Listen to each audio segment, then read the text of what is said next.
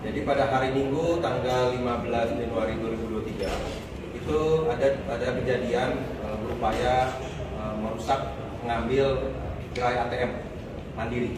Yang pertama adalah di Grand Teras eh, sudah rusak tapi memang belum uh, apa, tidak mereka tidak melakukan di sana uh, di. Yang kedua adalah di Jalan Raya Bekasi di Jalan Bekasi. Nah di situ mereka lagi merusak ditemukan oleh warga sehingga para pelaku kabur satu kabur ke Auri ke mes ke, apa, ke perumahan Auri dan berhasil ditangkap oleh warga sudah diamankan.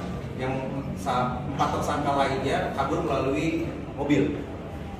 Kejar-kejaran mobil itu memasuki jalan tol. Nah dari situlah karena memasuki jalan tol, uh, waktu memasuki jalan tol itu berupaya mengalah apa menabrak kanan kiri sehingga dilakukan pengajaran oleh beberapa warga warga PJR dan kebetulan ada anggota Yonko 467 eh, Peratu Taufik Ilham otomatis beliau ikut mengejar bersama-sama dengan eh, PJR masyarakat ke dalam jalan tol tersebut. Ternyata mobil tersebut memang karena dikejar nabrak-nabrak asnya rusak.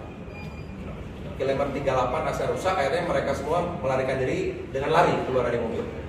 Salah satu pelaku lari ke dalam sungai terdekat dan di situlah ditangkap oleh Eh, TNI, Polri maupun warga yang ikut mengejar. Yaitu warga di sini adalah Mas Guru, Ratu Taufik dan anggota PJR yang mengejar di mobil dan anggota buser yang ikut mengejar ke sungai tersebut. Untuk tiga pelaku lainnya masih kita lakukan pengejaran. Tapi ini kan kami akan hari ini lakukan apresiasi karena e, bagaimana sinergitas TNI, Polri dan masyarakat melihat adanya kejadian langsung otomatis bersama-sama bergerak untuk menangkap pelaku tersebut.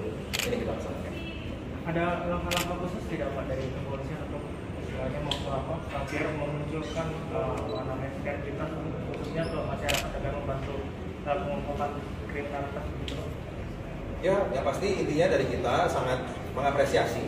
Jadi silakan jika masyarakat melihat ada kejadian tetapi tetap silakan berkoordinasi dengan kepolisian setempat. Jangan main hakim sendiri ya.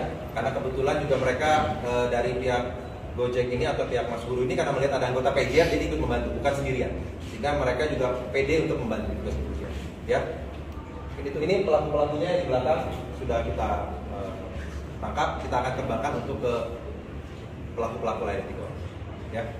Oke? Okay? terima kasih ya